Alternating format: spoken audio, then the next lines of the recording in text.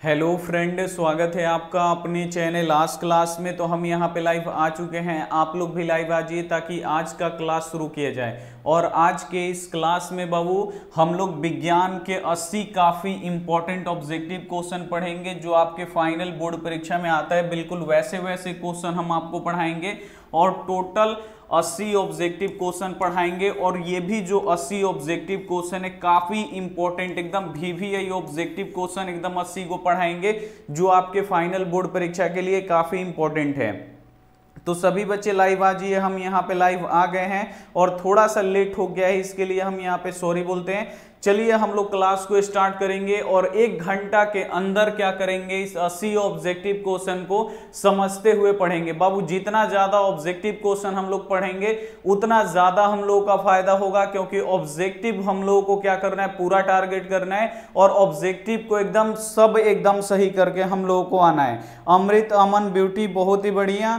Good afternoon sister चलिए, यहाँ पे देखिए, सभी बच्चे जुड़ चुके हैं। गौतम, आसिफ अंसारी, दीपक साकिब भाई बहुत बढ़िया, चलिए। सबीना, अनिल, सुजीत सैक कमल, गंगा झा बहुत बढ़िया, ब्यूटी बहुत बढ़िया। तो क्लास को बाबू शुरू कर दे एक घंटा में हम लोग एकदम क्या करेंगे? बाबू, जितना जल्दी हो सके, उतना ऑब्जेक्टिव हम लोग को क्या करना है, उतना जल्दी में हम लोग को खत्म करना है। तो चलिए बाबू, क्लास को शुरू करते, पहला क्वेश्चन देखिए कि किस दर्पण में वस्तु का प्रतिबिंब बड़ा बनता है। पहले वाला ही क्वेश्चन काफ़ी इंपॉर्टेंट है बाबू। क्वेश्चन आते रहता है कि किस दर्पण में बड़ा प्रतिम बनता है और किस दर्पण में छोटा प्रतिम बनता है, ये आपको याद रखना है। तो समतल दर्पण में क्या होता है बाबू? आपका बराबर प्रतिम बनता है। आप लोग भी यहाँ पे आंसर देते चलिए। अवतल दर्पण में बाबू आपका बड़ा भी बनता है और छोटा भी बनता है, आपको यहाँ पे याद रखना है। और उतल दर्पण में केवल छोटा बनता है, आपको यहाँ पे याद रखना है। इसीलिए बाबू हम बार बार लिखते हैं ताकि सभी क्वेश्चन आपको याद हो जाए। तो क्वेश्चन है कि किस दर, किस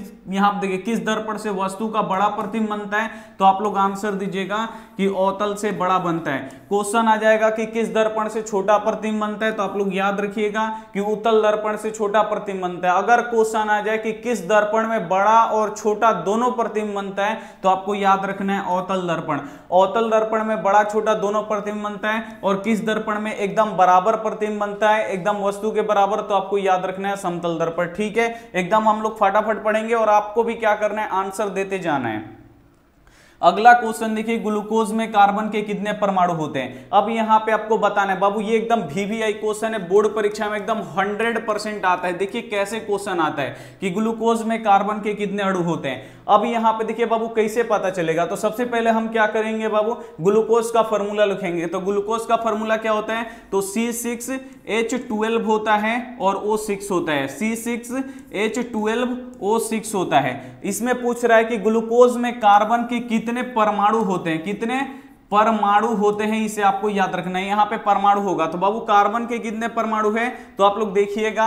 अब ऐसे आपको बताना है। कार्बन के कितने परमाणु होते हैं? छह। इसी क्वेश्चन में पूछेगा कि ग्लूकोज में हाइड्रोजन के कितने परमाणु होते हैं? तो ग्लूकोज में हाइड्रोजन के बारह परमाणु होते हैं, आपको याद रखना है। अगर इसी क्वेश्चन में आ जाए कि ग्लूकोज में ऑक्सीजन के कितने परमाणु होते हैं तो ऑक्सीजन के छह परमाणु होते हैं। बाबू, ऐसा देखिए एक के क्वेश्चन से तीन को क्वेश्चन बनेगा। आप लोगों को सबसे पहले याद रखना है पहले क्वेश्चन आएगा कि ग्लूकोज का सूत्र क्या होता है? तो ग्लूकोज का रासायनिक सूत्र क्या होता है? तो C6H12O6 होता है, जिसमें कार्बन के छह परमाणु होते हैं, हाइड्रोजन के बारह परमाणु होते हैं, ऑक्सीजन के छह होते हैं। तो देखिए कैसे क्वेश्चन आता है बोर्ड परीक्षा में? ये बोर्ड परीक्षा में पूछा हुआ क्वेश्चन है कि ग्लूकोज में कार्बन के कितने परमाणु होते हैं? तो ग्लूकोज में यहाँ पे आप लोग देखिएगा, कार्बन के छह होते हैं, हाइड्रोजन के बारह होते हैं, ऑक्सीजन का छह होते हैं। इस तरीके से आपको क्या रखना है बाबू? सभी क्वेश्चन को आपको याद रखना है। तो यहाँ पे छह क्या हो जाएगा हम लोगों का?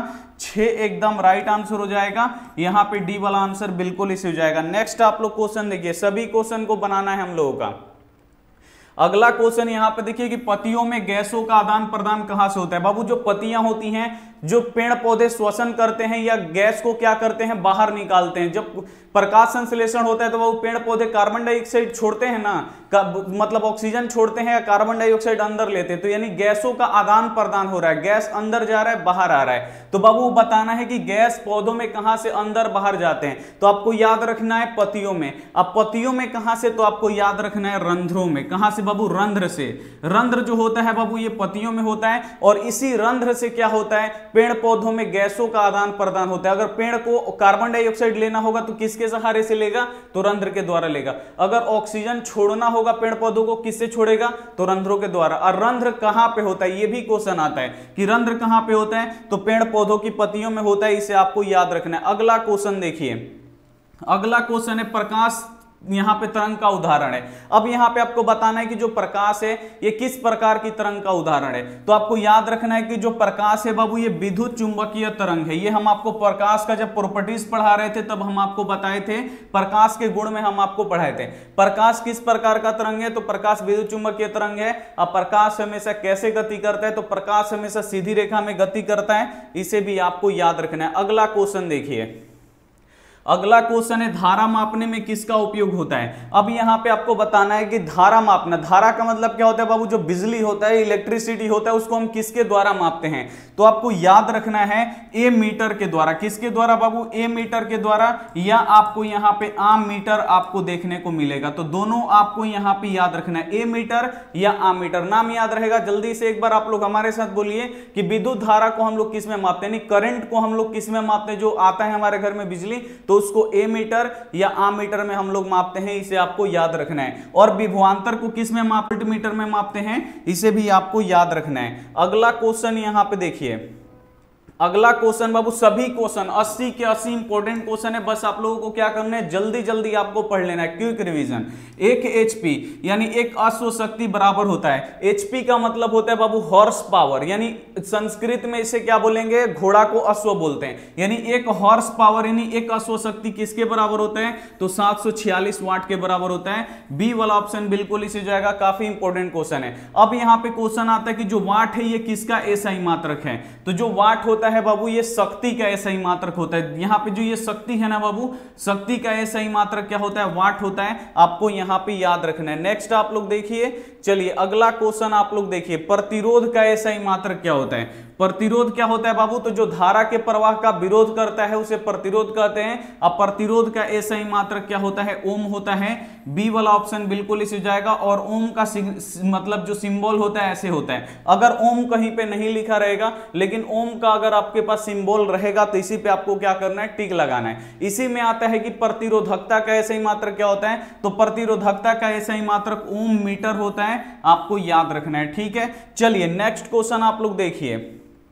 आप लोग भी बताते चलिए, समझ में आ रहा है? आप लोग भी आंसर बताइए। अब बाबू, यहाँ पे क्वेश्चन है, देखिए क्वेश्चन क्या है? क्वेश्चन है कि धातुओं की प्रकृति होती है, यानी धातु कैसे होते हैं? विद्युत धनात्मक होते हैं कि विद्युत ऋणात्मक होते हैं? तो आप लोग को याद रखना है कि जो धातु होते हैं बाबू, ये विद्युत धनात्मक होते हैं। क्या होते हैं बाबू? ध से धातु और ध से धनात्मक आपको याद रखना है। जो धातु होते हैं, ये विद्युत धनात्मक होते हैं। और जो अधातु होते हैं, आपको याद रखना है। बाबू, आज ही याद कर लीजिए, जो अधातु होते हैं, ये विद्युत ऋणात्मक होते हैं। यहीं से दो क्वेश्चन आपको याद हो जाएगा। धातुओं की प्रकृति कैसी होती है? तो धातुओं की प्रकृति विद्युत धनात्मक होती है और अधातु कैसे होते हैं? तो अधातु ऋणात्मक होते हैं, इसे आपको याद रखना है। दोनों के दोनों आप लोग याद रखिए। सबसे इंपॉर्टेंट क्वेश्चन हम आपको पढ़ा रहे हैं। अब देखिए, नौ नंबर बाबू क्वेश्चन है कि ग्रेफाइड होता है। ग्रेफाइड आप लोग जानते हैं क्या होता है? जो आपका पेंसिल आप लोग देखते हैं, जिसमें काला वाला ऐसे रहता है जिससे हम लोग लिखते हैं। यानी ये पेंसिल हो गया और पेंसिल का जो नीब होता है ना बाबू, जो काला वाला, उसमें एक पतला सा ऐसे डाला होता है। आप लोग देखे होंगे, वही है ग्रेफाइड और ये किसका रूप होता है? तो जो ग्रेफाइड होता है बाबू, ये कार्बन का ही एक रूप है। क्या है बाबू? कार्बन का ही एक रूप है, आपको याद रखना है। और ग्रेफाइड जो होता है, बाबू ये पूछ रहा है कि विद्युत का कुचालक होता है कि सुचालक होता है कि कुचालक, सुचालक दोनों होता है, किनमें से कोई नहीं होता है। तो आपको याद रखना है बाबू कि जो ग्रेफाइड होता है, वो विद्युत का सुचालक होता है, आपको याद रखना है। काफ़ी ज़्यादा इंपॉर्टेंट है। अगर आप लोग क्या कीजिएगा कि उसका आप लोग मतलब जो पेंसिल का जो ग्रेफाइड, काला वाला जो नीब होता है, उसको निकाल लीजिएगा। उससे अगर आप लोग क्या कीजिएगा कि कुछ अगर मतलब इलेक्ट्रिसिटी में सटाइएगा तो आपको करंट लग जाएगा। ठीक है तो ऐसे आपको करना नहीं है, हम बता बता रहे हैं। वो क्या होता है बाबू? जो ग्रेफाइड है, ये क्या होता है बाबू? इलेक्ट्रिसिटी का गुड मतलब कंडक्ट होता है, यानी ये सुचालक होता है आपको यहाँ पे याद रखना है। अगर क्वेश्चन आ जाएगा कि ग्रेफाइड क्या है बाबू? तो ग्रेफाइड अधातु है, आपको याद रखना है। अगला क्वेश्चन देखिए। अगला क्वेश्चन है बाबू कि क्लोरोफिल वर्णक का रंग होता है। सभी बच्चे, सभी बच्चों को पता है बाबू क्लोरोफिल कहाँ पे पाया जाता है? तो पेड़ पौधों की पत्तियों में पाया जाता है। और क्लोरोफिल के कारण ही पेड़ पौधों की जो पत्तियाँ होती है, वो हरी दिखाई देती हैं। तो यहाँ पे बोल रहा है कि क्लोरोफिल वर्णक का रंग कैसा होता है? तो सभी बच्चों को पता है कि क्लोरोफिल वर्णक का बाबू रंग कैसा होता है? बहुत ही बढ़िया। क्या होता है बाबू? क्या होता है?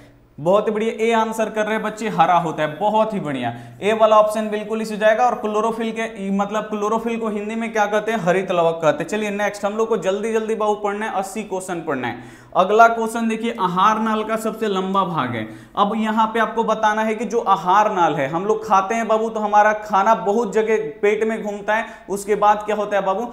पचता है। तो यहाँ पे आपको बताना है कि आहार नाल का सबसे लंबा भाग कौन है? तो आप लोग क्या आंसर दीजिएगा? जल्दी से एक बार आप लोग बताइए, आहार नाल का सबसे लंबा भाग कौन सा है?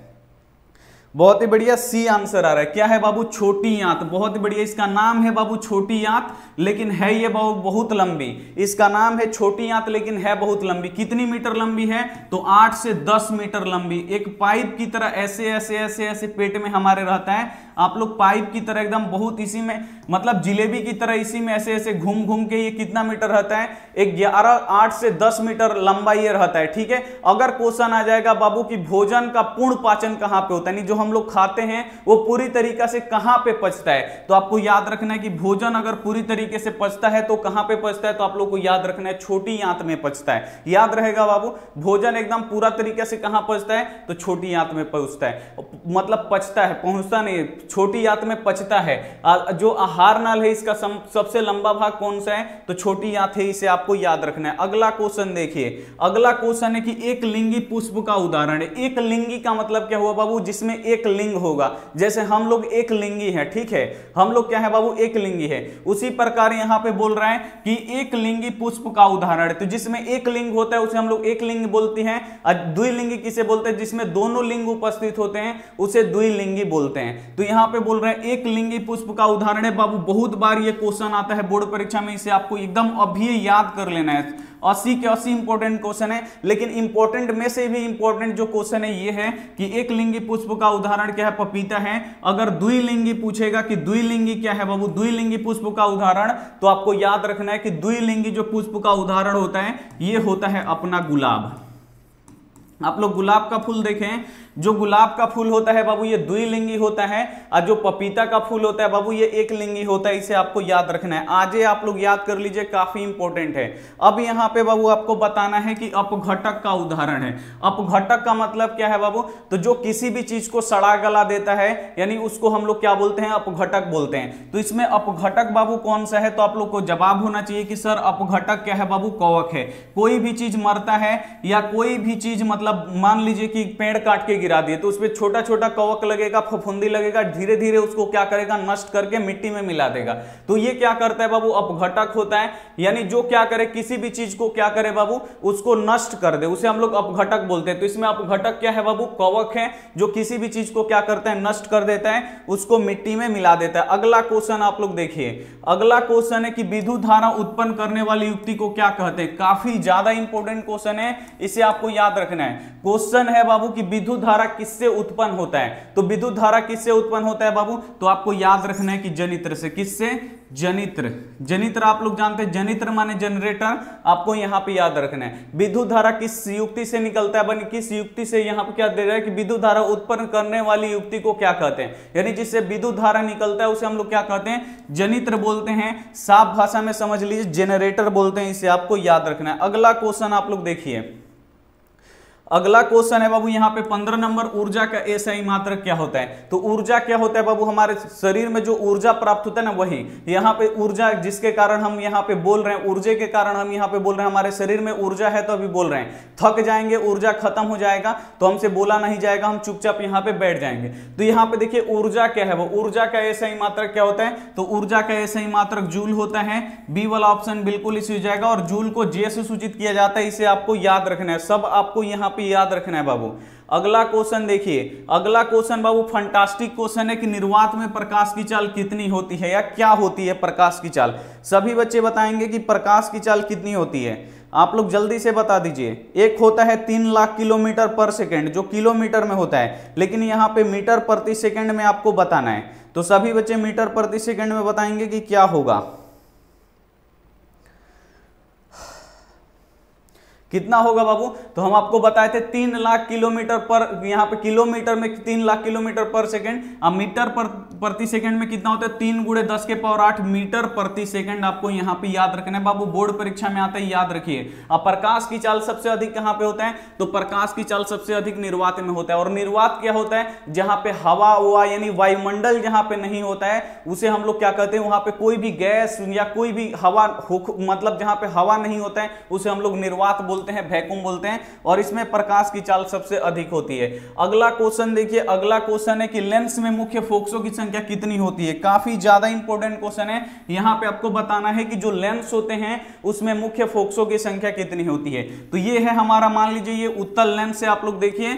और ये हमारा बीच में ये प्रकाशीय केंद्र हो जाएगा बाबू। यहाँ भी एक फोकस होता है, इधर भी एक फोकस होता है। इधर भी एक वक्रता केंद्र होता है, इधर भी एक वक्रता केंद्र होता है। तो आजे बाबू ये एकदम कंसेप्ट आप लोग एकदम याद रखिए, एकदम आप लोग यहाँ पे क्लियर कर लीजिए। आज ही एकदम आपको क्लियर कर लेना है। आएगा कि लेंस में कितने फोकस होते हैं? तो आपको याद रखना है लेंस में दो फोकस होता है। एक इधर होता है, एक इधर होता है। दूसरा क्वेश्चन आएगा कि लेंस में कितने वक्रता केंद्र होते हैं? तो लेंस में कितने वक्रता केंद्र होते हैं? तो आपको याद रखना है कि लेंस में दो वक्रता केंद्र होते हैं और दो क्या होते हैं बाबू फोकस होते हैं। अब दर्पण में वही क्या होता है? एगो फोकस होता है, एगो वक्रता केंद्र होता है। बाबू, याद रहेगा, दर्पण अपना ऐसा होता है, जो एक ही तरफ़ से आपको दिखाई देता है। इधर रंग देंगे तो इधर थोड़ी दिखाई देगा। ये हो जाता है हमारा फोकस और ये हो जाता है वक्रता केंद्र। तो दर्पण में बाबू, एगो फोकस होता है, एगो वक्रता केंद्र होता है, क्योंकि इस साइड तो हमको दिखाई नहीं देता है, क्योंकि इस साइड रंगा हुआ है और इसमें क्या होता है बाबू, ये आर पर दोनों तरफ़ दिखाई देता है। तो यहाँ पे, एगो यहाँ पे फोकस होगा, एगो यहाँ पे, एगो यहाँ पे वक्रता केंद्र होगा, एगो यहाँ पे। तो आपको याद रखना है, दर्पण में दो फोकस और दो वक्रता केंद्र। और दर्पण में एगो फोकस एगो वक्रता केंद्र। चलिए नेक्स्ट आप लोग देखिए। नेक्स्ट क्वेश्चन बाबू, देखिए कि सर्च लाइट का परावर्तक सतह होता है। सर्च लाइट आप लोग देखते हैं, घर में एगो लाइट होता है जिससे मतलब आजकल के तो बच्चे शायद नहीं देखे होंगे, ऐसे लाइट होता है एगो। और लाइटवा के अंदर एगो शीशा का ऐसा लगा होता था, जो पुरानका लाइट होता था ना, जिसमें बैटरी वैटरी लगता था। यहाँ पे एक शीशा का, अब तो फाइबर पैसा बचाने के लिए, अब उसमें क्या करता है बाबू? फाइबर लगा देता है व्हाइट कलर का। तो जहाँ पे बत्ती होता है, उसके मतलब आगे ऐसे गोल कलर का ऐसे शीशा लगा होता था, ऐसे गोल कलर का, उसी के बीचवा में बत्ती होता था। तो आप आपको बताना है यहाँ पे कि जो सर्च लाइट होता है सर्च लाइट का मतलब क्या? सामान ढूँढने वाला लाइट कुछ देखने वाला, ऐसे टीपीए लाइट देखिए इधर उधर। उस लाइट में आपको बताना है कि जो परावर्तक सतह होता है, वो किसका बना होता है? तो बाबू, आपको याद रखना है औतल दर्पण का बना होता है। याद रहेगा याद रहेगा। औतल दर्पण का और उपयोग कहाँ पे करते हैं बाबू? दाढ़ी बनाने में, हजामत बनाने में औतल दर्पण का प्रयोग करते हैं। इसे आपको याद रखना है। अगला क्वेश्चन आप लोग देखिए। अगला क्वेश्चन है कि निम्नलिखित में से किसका उपयोग खाना बनाने वाले ईंधन में नहीं होता है? जल्दी से आप लोग बताइए कि इसमें कौन सा ईंधन है जिसका उपयोग हम खाना बनाने में नहीं करते हैं? काफ़ी ज़्यादा ये भी इंपॉर्टेंट क्वेश्चन है। तो किसका उपयोग बाबू हम खाना बनाने वाले ईंधन में नहीं करते हैं? तो आपको याद रखना है सीएनजी बाबू सीएनजी का पूरा नाम क्या होता है? तो कंप्रेस्ड नेचुरल गैस होता है। सीएनजी का हम लोग खाना बनाने में प्रयोग नहीं करते तो करते कहाँ है? तो आप लोग बताइएगा कि हम लोग गाड़ी में उसका प्रयोग करते हैं। गैस वाला जो गाड़ी होता है, उसमें सीएनजी का प्रयोग होता है। इससे हम खाना नहीं बना सकते हैं। खाना बाबू किससे बनता है, कोयला से बनता है बायोगैस यानी गोबर से बनता है। गोबर से जो गैस बनता है, उसे हम लोग क्या करते हैं? बायोगैस बोलते हैं। यानी गोबर उसमें क्या करते हैं? डाल देते हैं। आप लोग बायोगैस देखे हैं कि नहीं? आपके गाँव में है कि नहीं? लेकिन मेरे गाँव में था। उसमें क्या होता है? कि एक टंकी टंकी टाइप का एक बना दिया जाता है, उसमें गोबर, जितना गाय का गोबर है, उसका लेदी है, जितना है उसमें डाल के, पानी डाल के उसको बंद कर दिया जाता था। वो सड़ता था जितना, उतना मिथेन गैस निकलेगा। उस, वो मिथेन गैस क्या होगा बाबू? मान लीजिए कि ये टंकी है, इसमें पूरा गोबर ओबर डाल के इसका ढक्कन बंद कर दिए। इतना गोबर पानी डाल दिया, अब इसमें क्या होगा? मिथेन गैस ऊपर आके क्या हो जाएगा? जम जाएगा। अब इसमें क्या करेंगे? एक पाइप ले जाएँगे और ये रसोई घर तक ले जाएँगे। और इसी को खोल के क्या करते हैं? जलाते हैं। तो ये भी क्या है? बायोगैस गोबर गैस है, आपको याद रखना है। एलपीजी आप लोग जानते हैं लिक्विड फाइड पेट्रोलियम गैस जो हमारे घरों में क्या होता है? सिलेंडर में होता है। तो इन तीनों का उपयोग हम खाना बनाने में करते हैं। लेकिन सीएनजी का उपयोग आप लोग बोलिएगा कि, सर जी, खाना बनाने में नहीं होता है। इसका उपयोग केवल गाड़ी को चलाने के लिए होता है। याद रहेगा, जल्दी से एक बार आप लोग बताइए। अगला क्वेश्चन देखिए, घरों में विद्युत दुर्घटना किस कारण से होता है? अब यहाँ पे आपको बताना है कि जो हमारे घरों में आप लोग सुने होंगे कि करंट से घर में आग लग गया। सुने हैं कि नहीं? तो करंट से बाबू घर में आग कब लगता है? फ्यूज तार के कारण कि शॉर्ट सर्किट के कारण कि उस धारा के प्रवाह से? ज़्यादा वोल्टेज आता है, तब आग लग जाता है कि शॉर्ट सर्किट होता है। शॉर्ट सर्किट यानी एक तार दूसरा तार में कब आप लोग चिपका के देखे चिपकाइएगा तो इसे पंडे आवाज़ करेगा और वहाँ से क्या निकलेगा बाबू? आग निकलता है। तो ये क्या होता है बाबू? घर में विद्युत दुर्घटना यानी घर में आग किसके कारण से लगता है? तो शॉर्ट शॉर्ट सर्किट से लगता है। किसके कारण से लगता है? आपको याद रखना है, काफ़ी ज़्यादा इंपॉर्टेंट क्वेश्चन है। ये शॉर्ट सर्किट से लगता है। याद रहेगा? याद रहेगा बाबू? जल्दी से एक बार आप लोग बताइए। अगला क्वेश्चन देखिए, एक बार ये भी आप लोग बताइए, याद रहेगा कि नहीं रहेगा? अगला क्वेश्चन है कि आँख व्यवहार होता है। आँख का बाबू व्यवहार होता है? आँख का कैसा व्यवहार होता है? यानी अवतल दर्पण की तरह की उत्तल लेंस की तरह की समतल दर्पण की तरह की इनमें से कोई नहीं? तो बाबू, हम आपको बताए थे, आँख का व्यवहार कैसा होता है? तो जो हमारा आँख होता है बाबू, इसमें उत्तल लेंस होता है। क्या होता है बाबू? आँख में आप लोग याद रखिएगा, उत्तल लेंस होता है। काफ़ी ज़्यादा इंपॉर्टेंट क्वेश्चन है। बी वाला ऑप्शन बिल्कुल इसे जाएगा। अगर क्वेश्चन आएगा कि जो मतलब फ़ोटो कैमरा होता है, उसके लेंस मतलब फ़ोटो कैमरा में कौन सा लेंस होता है? ये आप लोग मोबाइल देखते होंगे तो मोबाइल में देखिए पीछे एगो लेंस है, जिसे हम आप लोग बोलते हैं कैमरा है। कैमरा कैमरा वो क्या है बाबू? लेंस है। अंदर आप लोग देखिएगा लेंस है। तो वो भी लेंस बाबू आपका क्या है? तो वो भी लेंस क्या है? उत्तल लेंस है। तो आप लोग को याद करना है कि फ़ोटो कैमरा हो, उसमें भी उत्तल लेंस होगा, या सिंपल मोबाइल का कैमरा हो, उसमें भी उत्तल लेंस होता है। और जो हमारा आँख है बाबू, आँख को ही देख के फ़ोटो कैमरा बनाया गया आँख में भी क्या है बाबू? तो आँख में भी उत्तल लेंस है इसे आपको याद रखना है। अगला क्वेश्चन आप लोग देखिए। अगला क्वेश्चन है कि किसी भी अम्लीय विलियन का पीएच मान होता है। तो बाबू, हम आपको बताए थे कि किसी भी अम्लीय विलियन का पीएच मान कितना होता है? तो आप लोग को बताए थे बाबू कि अगर पीएच स्केल पर, ध्यान से देखिए, पीएच स्केल पर ज़ीरो से लेकर चौदह तक की संख्या होती है बीच में सात। अगर किसी विलियन का पीएच मान ज़ीरो से लेकर सात के बीच में होता है तो अम्लीय होता है। सात से लेकर चौदह के बीच में होता है तो क्षारीय होता है। लेकिन इसमें सात के बराबर सात से अधिक, सात से कम दिया है। तो इसको आप लोग कैसे याद रखिएगा? तो किसी अम्लीय विलियन का पीएच मान कितना होता है? तो सात से कम होता है। सात से अगर हम कम जाएँगे तो अम्लीय होगा और सात से आगे जाएँगे, सात से अधिक होगा तो वो क्या होगा? क्षारीय होगा। आपको याद रहेगा, अम्लीय विलियन का पीएच मान सात से कम होता है क्षारीय विलियन का पीएच मान सात से अधिक होता है और जो उदासीन विलियन होता है उसका पीएच मान सात के बराबर होता है। एकदम आपको याद रखना है, काफ़ी ज़्यादा इंपॉर्टेंट इंपॉर्टेंट क्वेश्चन है। बिल्कुल आप लोग देखते चलिए। अगला क्वेश्चन है, विद्युत बल्ब का फिलामेंट किस तार का बना होता है? आप लोग जो विद्युत बल्ब, रेड वाला आप लोग जो बल्ब जलाते हैं, उसमें इस टाइप का तार लगा होता है। वो तार को बताना है कि ये कौन सा तार है, आप लोगों को बताना है। तो ये जो फिलामेंट बना होता है बाबू विद्युत बल्ब का ये किसका बना होता है? तो ये टंगस्टन का बना होता है। डी वाला ऑप्शन बिल्कुल इसी हो जाएगा। उसके बाद यहाँ पे बाबू क्वेश्चन आता है, इस बल्ब में एगो गैस भरा जाता है। ये भी क्वेश्चन आता है कि विद्युत बल्ब में कौन सी गैस भरी जाती है?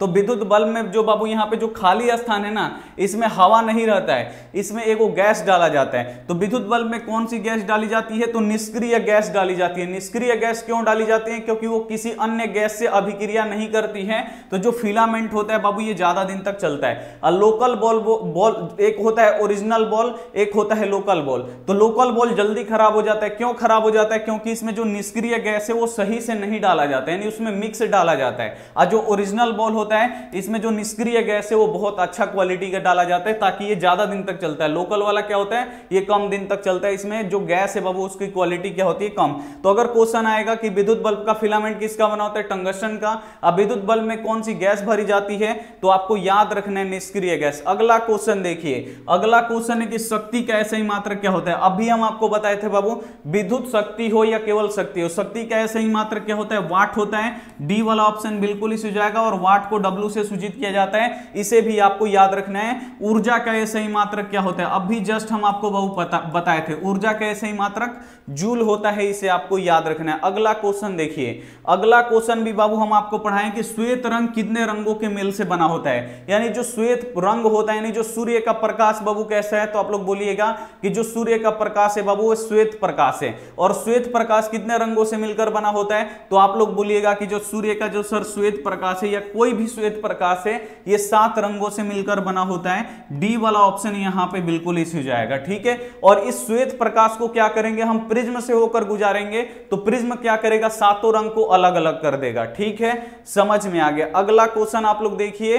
अगला क्वेश्चन है कि मैग्नीशियम पाया जाता है। अब थोड़ा सा इसे आप लोग को याद रखना है कि जो क्लोरोफिल होता है, क्लोरोफिल में ही मैग्नीशियम पाया जाता है, इसे आपको याद रखना है। जो, यानी क्या होता है बाबू, कि जो हमारे पेड़ पौधों की पत्तियाँ होती हैं, वो क्लोरोफिल के कारण से हरी होती हैं। लेकिन क्लोरोफिल में कौन सा तत्व पाया जाता है तो आपको याद रखना है एम यानी मैग्नीशियम पाया जाता है। आप लोग आज ही याद कर लीजिए बाबू, थोड़ा सा ये अलग है, लेकिन आप लोग याद रखिए कि क्लोरोफिल में कौन सा तत्व पाया जाता है तो मैग्नीशियम तत्व पाया जाता है, इसे आपको याद रखना है। चलिए नेक्स्ट आप लोग देखिए नेक्स्ट भी आपको बाबू पता होगा ये वाला क्वेश्चन की पृथ्वी पर ऊर्जा का मुख्य स्रोत क्या है? यानी हम पृथ्वी पे हैं तो ऊर्जा का सबसे पहला स्रोत हमारे पास क्या है? और उसी के कारण से बाबू पूरा मतलब पूरा दुनिया ये बना है। यानी जितने भी पृथ्वी पे जीव जंतु हैं, उसी के कारण बना है। तो आप लोग बोलिएगा कि वो सर क्या है? तो आप लोग बोलिएगा कि सर वो सूर्य है। क्या है बाबू? सूर्य है।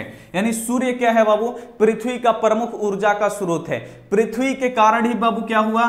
पहली बार यहाँ पे वर्षा हुआ, धूप लगा बाबू, इसके कारण क्या हुआ, पानी गर्म हुआ, वहाँ पे कवक जमा, फिर कवक से क्या हुआ छोटे छोटे कीड़े कीड़े मकड़े, मकौड़े बने, फिर विकास होते होते होते होते, फिर हम लोग यहाँ पे धरती पे मतलब ये इस अवतार में है। बनमानुष बनमानुष से फिर यहाँ पे क्या हुए, आदमी बने। अगला क्वेश्चन यहाँ पे देख लीजिए। पृथ्वी का अगर पूछेगा तो आपको याद रखना है, सूर्य है। बैटरी से किस प्रकार की धारा प्राप्त होती है? अब एगो बाबू बैटरी वाला करंट होता है, उससे भी लाइट जलता है, वो मतलब ये जो बिजली वाला आता है तो बैटरी का तारवा छुएगा तो नहीं मारेगा, लेकिन करंट वाला वही जो पोल से आता है, उसका तारवा छुएगा तो वो मार देगा आपको। तो इसे देखिए, बहुत ही इसमें क्या है, अलग है। बैटरी से बाबू किस प्रकार की धारा निकलती है तो दिष्ट धारा निकलती है, ठीक है? दिष्ट धारा निकलती है और जो पोल पे से लाइन आता है बाबू, पोल का लाइन, उसमें क्या होता है तो हम लोग का प्रत्यावर्ती धारा, यानी अल्टरनेटिव करंट होता है, ठीक है? जो अल्टरनेटिव करंट होता है बाबू, ये ऐसे चलता है। कैसे चलता है? ऐसे चलता है। और जो दिष्ट धारा होता है, बाबू, एकदम ये सीधा चलता है। दिष्ट धारा एकदम सीधा चलता है और अल्टरनेटिव करंट ऐसे चलता है। ठीक है? उसके बाद क्वेश्चन आता है, बाबू, कि दिष्ट धारा अब धारा में, बाबू, खतरनाक कौन है? तो आप लोग को याद रखिएगा, जो मारता है ना करंट हम लोगों को तो कौन करंट को मारता है? इसी करंट ज़्यादा वोल्टेज को मारता है तो आदमी को ले डूबता है। तो आपको याद रखना है, प्रत्यावर्ती धारा क्या है, बाबू, सबसे अधिक खतरनाक है।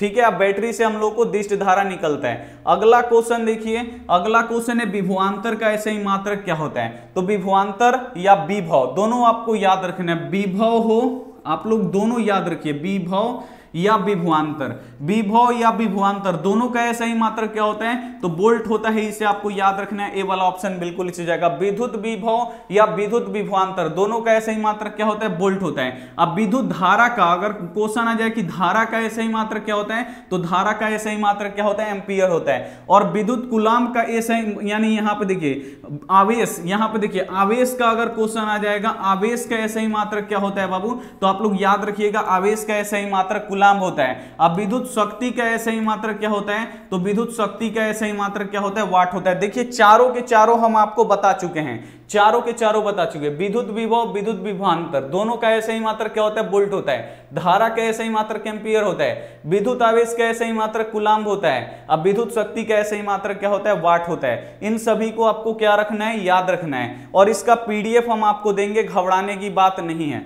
अगला क्वेश्चन यहाँ पे देखिए, कौन विद्युत का सर्वोत्तम सुचालक है? आपको बताना है कि इसमें से कौन सा तत्व है, कौन सा धातु है जो विद्युत का सबसे अच्छा चालक है? आप लोग यहाँ पे बता दीजिए। विद्युत का बाबू सबसे अच्छा चालक कौन है? जल्दी से आप लोग यहाँ पे बताएँगे। बहुत ही बढ़िया। बाबू, आप लोग जानते हैं ना कि जो चांदी है बाबू, चांदी विद्युत का सबसे अच्छा चालक है। अगर चांदी का तार बना दिया जाए तो विद्युत जो है बाबू, बहुत ही कम मतलब यहाँ पे क्या होगा, जो प्रतिरोध होता है उसका बहुत कम होता है और सबसे अच्छा चालक है। अगर चांदी का तार बनाएँगे और चौरा दी के लेके जाएँगे तो राते में चोर काट के लेके चला जाएगा। तो चांदी के बाद क्या आता है बाबू? तांबा आता है। तो तांबा भी क्या है बाबू? महँगा है। तांबा के बाद क्या आता है बाबू? हम लोगों का एल्यूमिनियम। तो क्या करते हैं बाबू? तांबा का नहीं बना के क्या करते हैं? एल्यूमिनियम का बनाते हैं। और चारों बगल उसको क्या करते? हैं चावरा हो या कहीं हो, उसको लेके हम लोग चले जाते हैं। आपको याद रखना है। तो आप लोग को क्वेश्चन आ रहा है कि विद्युत का सर्वोत्तम सुचालक कौन सा होता है? तो एजी होता है। एजी ये क्या है बाबू? चांदी का संकेत है। ये क्या है बाबू अपना? चांदी को केमिस्ट्री के भाषा में क्या बोलते हैं? यहाँ पे एजी यानी सिल्वर बोलते हैं। इसे आपको याद रखना है। अगला क्वेश्चन यहाँ पे देख लीजिए।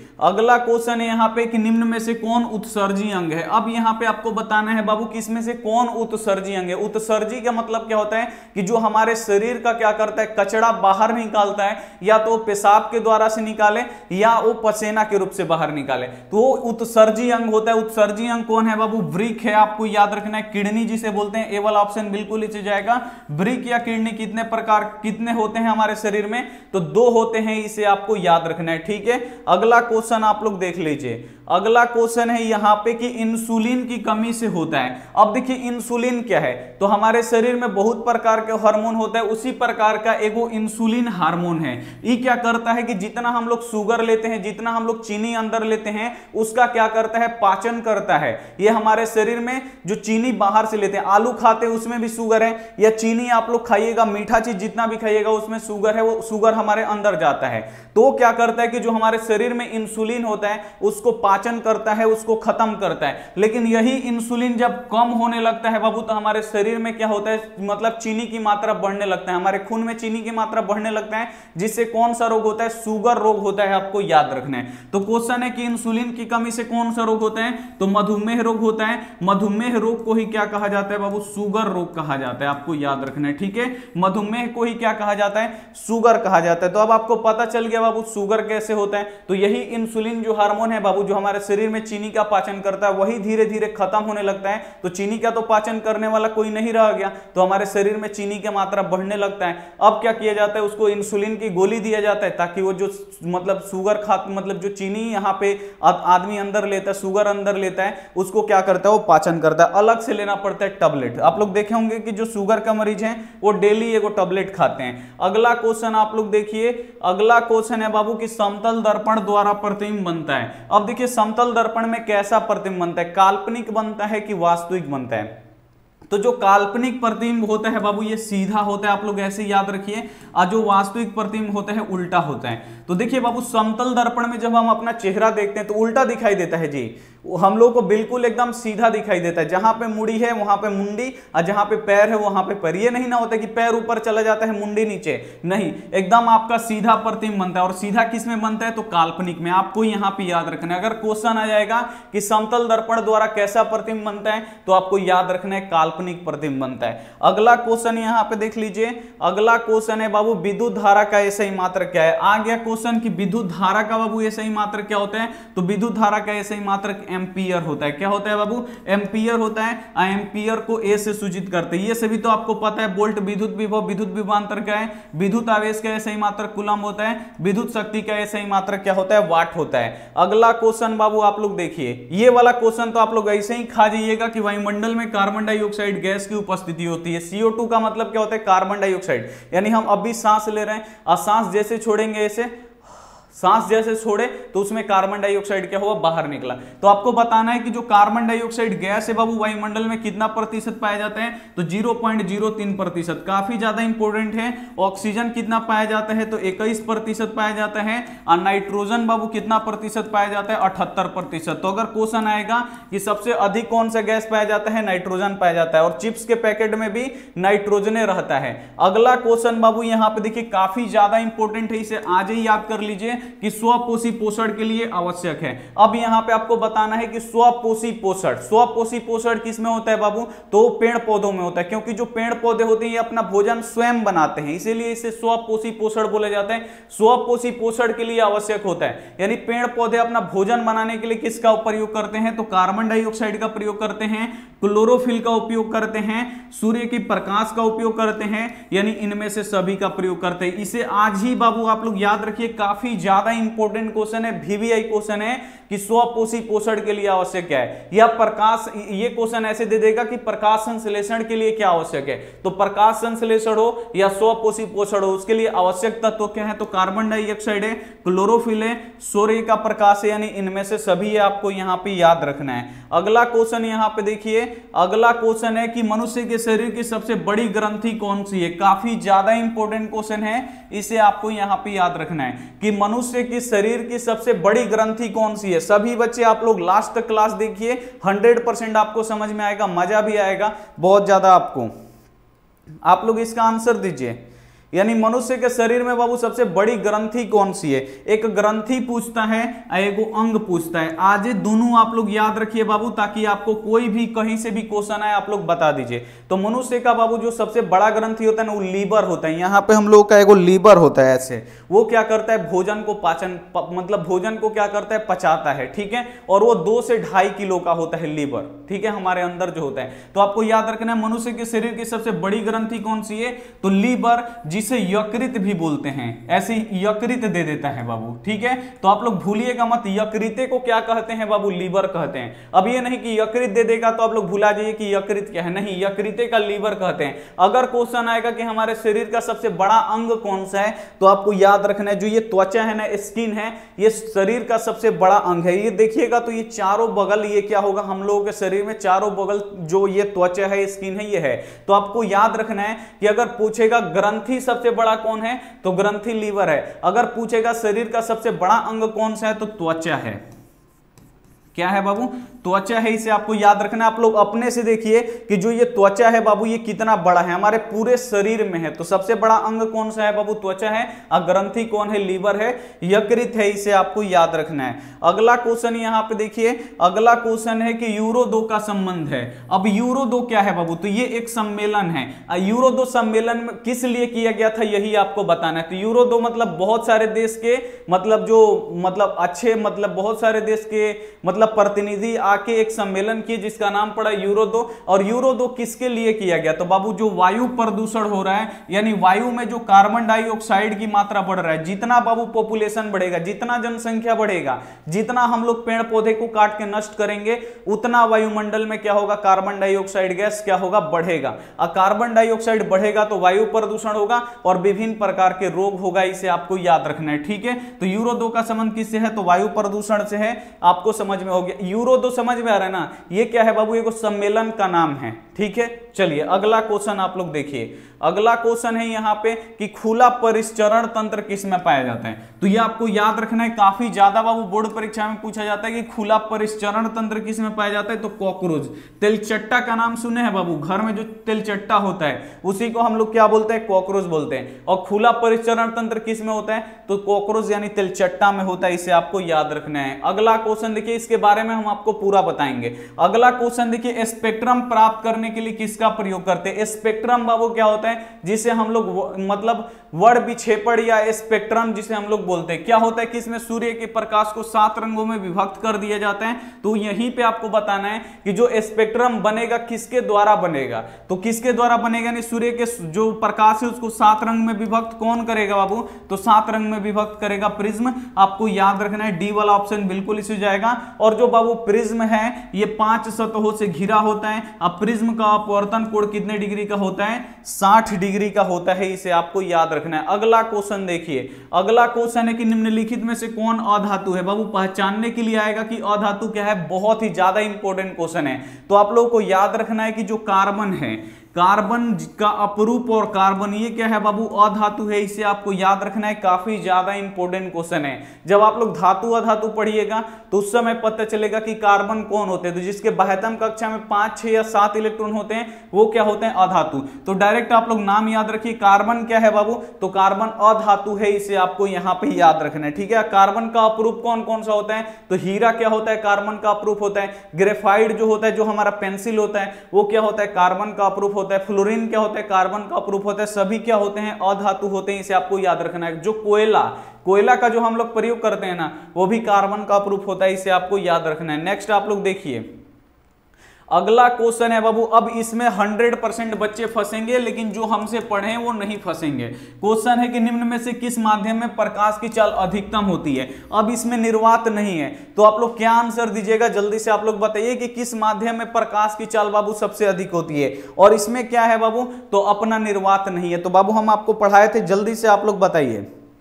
आप लोग बाबू क्लास कीजिए 100 परसेंट आपको समझ में आएगा 100 परसेंट आपको सफलता मिलेगा, सफलता के लिए आप लोग तैयारी कर रहे हैं, सफलता के साथ आपका खिलवाड़ नहीं किया जाएगा। अगर आपका 450 प्लस अगर आप लोग बढ़िया से पढ़िएगा, लापरवाही नहीं कीजिएगा तो किसी के माई के लाल में दम नहीं है कि 450 प्लस नंबर लाने से आपको रोक सके। इतना गारंटी अगर आप लोग मेहनत करके पढ़ दीजिएगा, जितना पढ़ा रहे अभी से लेके आप लोग परीक्षा के दिन तक आप लोग पढ़ दीजिए, आपको कोई नहीं रोक सकता, ये हमारा गारंटी है। ठीक है, सभी विषयों का यहाँ पे तैयारी करवाया जा रहा है। तो चलिए, यहाँ पे देखिए, यहाँ पे किस माध्यम में प्रकाश की चाल अधिक होता है तो आपको याद रखना है, हवा जो होता है ना बाबू, अगर निर्वात नहीं रहेगा तो आपको याद रखना है, निर्वात के बाद किसमें होता है? हवा में। और सबसे कम किसमें होता है तो आपको याद रखना है, शीशा या कांच में आपको याद रखना है। अगला क्वेश्चन आप लोग देखिए, अगला क्वेश्चन है बाबू यहाँ पे कि निम्न में से किस दर्पण की फोकस दूरी धनात्मक होती है? अब यहाँ पे हम आपको बाबू ये भी क्वेश्चन बताए थे, काफ़ी ज़्यादा इंपॉर्टेंट है, किस दर्पण की फोकस दूरी धनात्मक होती है और किसकी ऋणात्मक होती है। तो आपको याद रखना है, जो उत्तल होता है, इसकी जो फोकस दूरी होती है, ये धनात्मक होती है, और उत्तल लेंस का भी बाबू धनात्मक होता है। और अवतल दर्पण की फोकस दूरी ऋणात्मक होती है, और अवतल दर्पण अवतल दर्पण का फोकस दूरी ऋणात्मक होता है, और अवतल लेंस का भी क्या होता है, ऋणात्मक होता है। तो ये आपको याद रखना है, बोल रहा है किसका धनात्मक होता है तो आपको याद रखना है, अवतल दर्पण की फोकस दूरी धनात्मक होता है। अगला क्वेश्चन आप लोग देखिए, अगला क्वेश्चन है कि विद्युत आवेश का ऐसा ही मात्रक क्या है? क्वेश्चन है कि विद्युत आवेश का ऐसा ही मात्रक क्या है? तो विद्युत आवेश का बाबू ऐसा ही मात्रक कुलाम्ब होता है। सभी बच्चों को पता है, कई बार बता चुके हैं कुलाम्ब को सी से सूचित किया जाता है। और ये सभी तो आपको पता है, वोल्ट किसका है? तो विद्युत शक्ति का है, ओम किसका है? तो प्रतिरोध का ऐसा ही मात्रक ओम होता है। अब विद्युत धारा का ऐसा मात्रक क्या होता है बाबू? एम्पियर होता है। अगला क्वेश्चन आप लोग देखिए। अगला यहाँ पे क्वेश्चन है कि दांतों को साफ़ करने के लिए दंत मंजन प्राय होता है। अब देखिए, दांतों को साफ़ करने वाला हम जो दंत मंजन प्रयोग करते हैं, आप लोग दंत मंजन से कभी धोए हैं कि नहीं? या कोलगेट आप लोग देखे हैं ना? वो कैसा होता है, अब आप लोग बताइए। तो देखिए, जो हम बाबू खाना खाते हैं तो खाना खाते हैं, रात में खा के तो सो जाते हैं, ब्रश नहीं करते हैं तो उसका जो खाना का छोटा छोटा पार्ट है, वो हमारे दांतों में सटा रहता है। उसमें रहते हैं बाबू दांत में बैक्टीरिया, निकलते हैं, उसको खाते हैं, और वहीं पे क्या करते हैं बाबू? मलमूत्र करते हैं, ठीक है? और वो क्या करते हैं बाबू? एसिड मतलब हमारे मुँह में क्या करते हैं? एसिड छोड़ देते हैं, ठीक है? एसिड मतलब हमारे मुँह का जो पीएच मान क्या होता है, उसको भोजन को विघटित करते हैं, उसको सड़ा देते हैं मुँह में, और वो क्या होता है बाबू एसिड बन जाता है, यानी अम्ल अम्ल हमारे मुँह में बन जाता है, और जो अम्ल है बाबू, ये बहुत खतरनाक है। चमड़ा पे पड़ेगा, चमड़ा गला देगा। दांत को ये क्या करते हैं, खराब करते हैं। इसीलिए हमारे मुँह में जो बाबू अम्ल होता है, इसको नष्ट करने के लिए हम क्या करते हैं कि यहाँ पे छार का प्रयोग कर, किसका प्रयोग करते हैं बाबू? छार का प्रयोग करते हैं। किसका प्रयोग करते हैं? छार। तो जो हमारा दंत मंजन है, वो कैसा है बाबू? क्षारिय है। जो हमारा कोलगेट है, ये कैसा है बाबू? क्षारिय है। तो अम्ल क्षार से अभिक्रिया करके लवण और जल बनाते हैं उसको निष्क्रिय कर देता है। तो डेली डेली हम बाबू क्या करते हैं, वही पेस्ट करते हैं। क्यों करते हैं? क्योंकि जो हमारा मुँह में जो पीएच मान, यानी जो हमारे मुँह में अम्ल बना है, उसको क्या किया जाए? फिर न्यूट्रल कर दिया जाए, ताकि हमारा जो दांत है बाबू, खराब ना हो। और दांत खराब क्यों होते हैं? कोई ब्रश नहीं करता है तो आप लोग देखिएगा, उसका दांत खराब हो जाता है। पीला पीला पड़ के खोड़ीला, उसके बाद खराब हो जाता है। यही कारण है। तो अगर क्वेश्चन आएगा कि दांतों को साफ़ करने वाला दंत मंजन या कोलगेट कैसा होता है तो आपको याद रखना है, क्षारिय होता है। क्या ये आपको याद रहेगा बाबू? चलिए, अगला क्वेश्चन आप लोग देखिए। अगला क्वेश्चन है बाबू कि किसी लेंस द्वारा उत्पन्न आवर्धन का ही मात्रक होता है। अब देखिए बाबू, बोला गया है आवर्धन। हम आपको कितना बार पढ़ाए हैं बाबू तो चिल्ला चिल्ला के बताए हैं कि अगर आपसे बोलेगा कि आवर्धन का ही मात्रक क्या होगा तो आप लोग जवाब क्या दीजिएगा? तो आप लोग जवाब दीजिएगा कि सर जी, आवर्धन का ऐसा ही मात्रक नहीं होता है। ये क्या होता है? मात्रक विहीन होता है। कई बार बाबू बताए हैं, आज अगर नहीं याद है तो आज फिर से हम आपको बताते हैं। आप याद कर लीजिए कि आवर्धन का कोई भी ऐसा ही मात्रक नहीं नहीं होता है, ये मात्रक विहीन होता है। अगला क्वेश्चन यहाँ पे देख लीजिए। अगला क्वेश्चन है यहाँ पे वास्तविक प्रतिबिंब, यहाँ देखिए, वास्तविक वस्तु का आभासी प्रतिबिंब बनता है। अब यहाँ पे आपको बताना है कि वास्तविक वस्तु का आभासी प्रतिबिंब बनता है। ये देखिए, क्वेश्चन बहुत ही डेंजर है, इसे आपको समझना काफ़ी ज़रूरी है। तो आभासी का मतलब होता है बाबू काल्पनिक।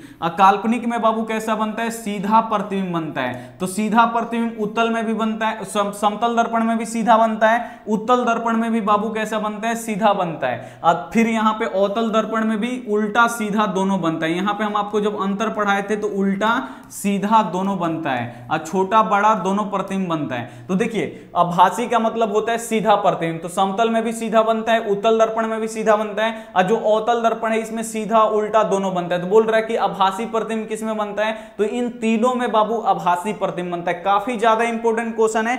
ऐसे क्वेश्चन बच्चे गलती कर देते हैं।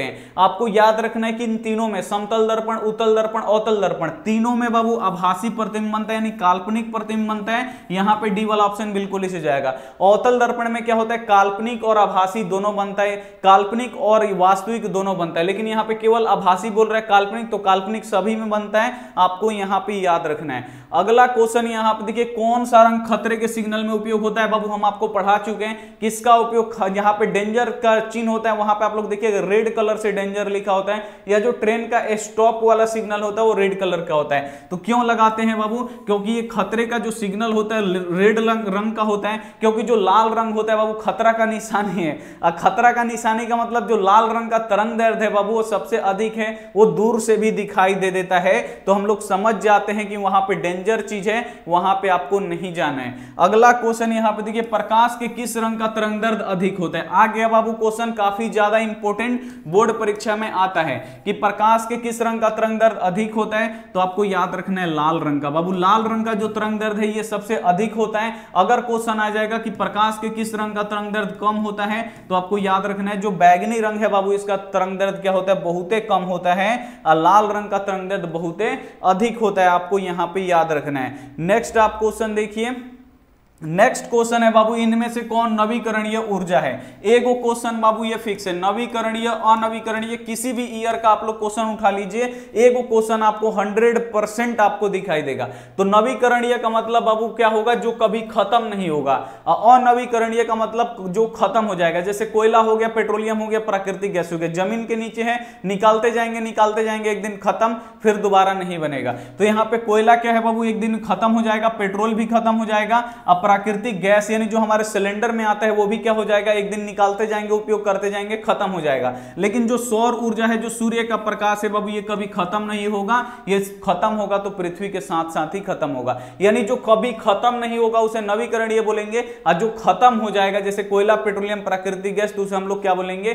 अनवीकरणीय बोलेंगे। याद रहेगा बाबू, ट्रिक है, आप लोग याद रखिए। अगला क्वेश्चन यहाँ पे देखिए, लिटमस रंजक बैगनी रंग का होता है, जो निकाला जाता है। अब यहाँ पे लिटमस पत्र हम आपको बताए थे बाबू, कि लिटमस पत्र क्या करता है, कि नीले लिटमस पत्र को लाल कर देता है यानी जो अम्ल होता है, ये क्या करता है? नीले लिटमस पत्र को लाल कर देता है। तो यहाँ पे आपको बताना है वही कि लिटमस रंजक जो होता है, बाबू बैगनी रंग का होता है और ये किससे निकाला जाता है? तो आपको याद रखना है, ये लाइकेन से निकाला जाता है। लिटमस पत्र किससे निकाला जाता है? लाइकेन से निकाला जाता है। और लिटमस पत्र का उपयोग हम लोग कहाँ पे करते क्वेश्चन आ गया कि लिटमस पत्र का प्रयोग हम कहाँ पे करेंगे? तो अम्ल और क्षार का पता लगाने में करते किस लिए करते हैं? तो अम्ल और क्षार का पता लगाने के लिए करते हैं। इसे आपको याद रखना है। अगला क्वेश्चन देखिए, यदि हम हमारे आहार में आयोडीन की कमी हो जाए तो किस रोग का होने का संभावना है? अब यहाँ पे बाबू क्वेश्चन बोल रहे हैं कि अगर हम खाना खा रहे हैं, उसमें अगर आयोडीन की कमी हो जाए तो कौन सा रोग होगा? पहले के आप लोग लोग देखे होंगे? आप लोग देखे हैं कि नहीं? आप लोग तो कम उम्र के, हम तो बुढ़े हो गए। चलिए, पहले के लोग क्या होते थे ना, उनका देखे थे कि गर्दन ऐसे यहाँ पे फूल जाता था। ऐसे यहाँ पे क्या होता था? गला यहाँ पे फूला फूला हो जाता था। तो वही क्या है बाबू? यही आयोडीन की कमी की निशानी है कि गला जो होता है बाबू, गला का नस, वो क्या होता है? फूल जाता है। लगेगा कि यहाँ पे कुछ है। ठीक है?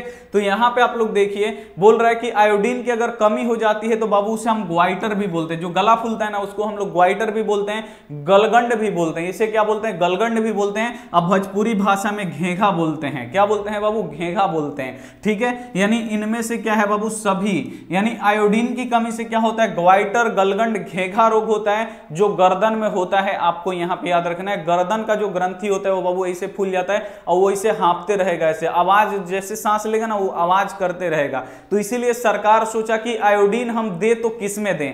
तो उसको, उसने क्या सोचा बाबू? कि आयोडीन को हम क्या करते हैं? नमक में मिला देते हैं और नमक का डेली डेली उपयोग है। मान लीजिए चावल में मिला देगा, मिलाया जाए आयोडीन तो कोई आज चावल खाएगा, फिर कोई दस दिन के बाद खाएगा तो इसे हो जाएगा, छूट जाएगा आयोडीन। लेकिन आयोडीन को क्या किया गया बाबू? नमक में मिला दिया गया, क्योंकि नमक आप लोग कुछ भी बनाइएगा, उसमें नमक का प्रयोग करना है, और नमक खाइएगा तो उसमें आयोडीन रहता है, हमारे शरीर में आता है। तो हम लोग को गलगंड, आज आप लोग नज़र उठा के देख लीजिए, गाँव में किसी को नहीं होगा। घेघा रोग आज आप लोग देखिएगा गाँव में तो आप लोगों को कहीं पे भी देखने को नहीं मिलेगा, ठीक है? ठीक है? यस, गुरुजी, बहुत बढ़िया। आगे चलिए बाबू, अब ज़्यादा क्वेश्चन नहीं है। आगे अब हम लोग क्या करते हैं, पढ़ते हैं। अगला क्वेश्चन है बाबू, मनुष्य में कितने जोड़ी क्रोमोसोम होते हैं? अब देखिए, मनुष्य में बोल रहा है कि कितने जोड़ी क्रोमोसोम होते हैं? काफ़ी ज़्यादा इंपॉर्टेंट क्वेश्चन है, यानी लिंग गुण सूत्र कितने होते हैं? तो आपको याद रखना, अगर जोड़ा में देगा तो आपको याद रखना है तेईस जोड़ा। लिंग क्रोमोसोम, यानी यहाँ पर देखिए, बोल रहा है मनुष्य में क्रोमोसोम की संख्या कितनी होती है? तो मनुष्य में जो क्रोमोसोम होती है बाबू, ये तेईस जोड़ा होता है। एक जोड़ा में बाबू दो गो, एक जोड़ा जूता दो जोड़ा जूता होता है ना, उसी तरीके से तेईस जोड़ा। तेईस का जब आप लोग दोगुना कीजिएगा तो संख्या में यहाँ पे छियालीस गो क्या होगा बाबू? यहाँ पे क्रोमोसोम होगा। अगर क्वेश्चन आएगा, मनुष्य में कितने कितने क्रोमोसोम होते हैं? अगर देगा 45 गो 46 गो 40 गो 32 गो 23 गो तो संख्या में देगा तो आपको 46 ऐसे जोड़ा में ऑप्शन देगा तो आपको 23 जोड़ा पे आपको टिक करना है, ठीक है? आप लोगों को याद रखना है कैसे? और काफ़ी ज़्यादा इंपॉर्टेंट अगर जोड़ा में देगा तो जोड़ा में तेईस जोड़ा और संख्या में देगा तो तेईस का दुगुना कितना होता है? एक जोड़ा में दो होता है तो तेईस का दुगुना कितना होगा? छियालीस। तो संख्या देगा तो बाबू आपको छियालीस, आपको याद रखना है। अगला क्वेश्चन देखिए आप लोग, अगला यहाँ पे क्वेश्चन है कि कौन सा पदार्थ लिटमस, यहाँ देखिए, लाल लिटमस पत्र को नीला कर देता है। अब भी आ गया बाबू, कि कौन सा पदार्थ है जो लाल लिटमस पत्र को नीला कर देता है? अगर लाल, रेड कलर का लिटमस पत्र है, अगर उसमें डुबाएँगे तो जहाँ तक डुबाएँगे, लाल लिटमस पत्र को वहाँ तक नीला कर देगा। तो आपको याद रखना है, वो होता है क्षार। क्षार क्या करता है बाबू? तो ये लाल लिटमस पत्र को यहाँ पे लिख देते हैं, लाल को ये नीला कर देता है। ठीक है? और जो अम्ल होता है, ये क्या करता है? तो ये नीले को क्या करता है बाबू? लाल कर देता है। इसे आप लोग याद रखिए, दोनों के दोनों आप लोग यहीं पे याद कर लीजिए। अम्ल क्या करता है? नीले लिटमस पत्र को लाल करता है, और जो छार होता है, ये लाल लिटमस पत्र को नीला करता है। याद रहेगा बाबू? अगला क्वेश्चन आप लोग देखिए। ये भी क्वेश्चन आप लोग आज ही, अब भी एकदम याद कर लीजिए कि यहाँ पे सामान्य नेत्र के लिए दूरबिंदु होता है। यानी सामान्य व्यक्ति के लिए आदमी कहाँ तक देख सकता है? जल्दी से बोलिए, आप लोग कहाँ तक आदमी देख सकता है? उसके बाद हम आपको बताएँगे।